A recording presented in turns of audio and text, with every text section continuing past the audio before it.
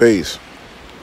Yo, up in the high north, peace to the God body and peace to my divine infinite consciousness.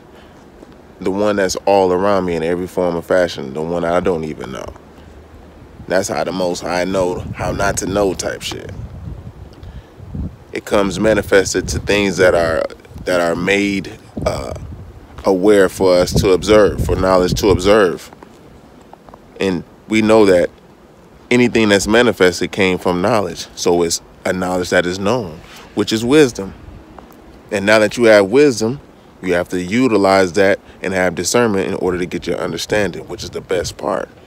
The child.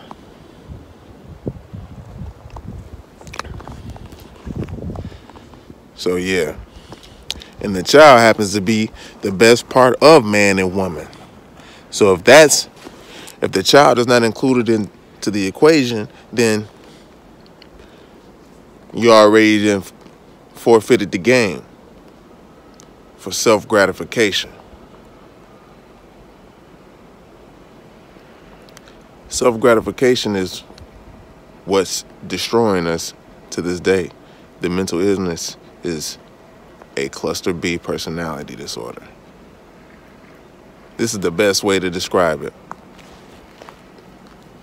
and to find out if, I'm gonna say if, to find out your symptoms, what you do. Because now we have enablers. Enablers are fans.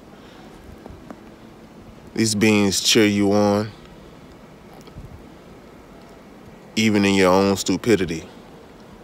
They praise the narcissist or just narcissistic traits in general from any individual.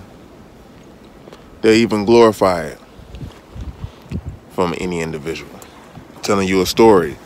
Some shit you may not even want to hear if you're a part of the enlightened shit.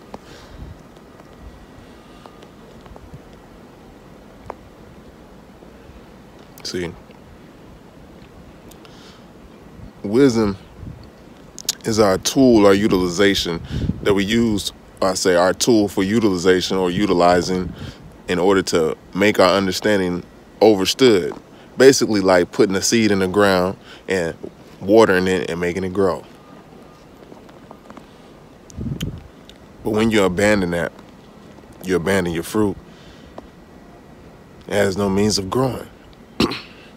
your selfishness is is rooted deeply in the spirit from the underworlds you got a chance to come up now during the end of the cycle. All this shit gonna get sorted out in the end. Whether you glorify being in the third dimension or not. Glorifying the, the physical reality of sex, glorifying the orgasmic experiences. As far as for a woman, she's multi-orgasmic. But as for a man, if it's all about busting a nut, then you're already lost.